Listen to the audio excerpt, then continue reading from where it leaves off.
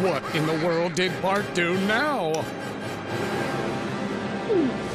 Oh, Mom, thank God. This one's brighter. Now talk. All new Simpsons, Sunday at 8, 7 central on Fox.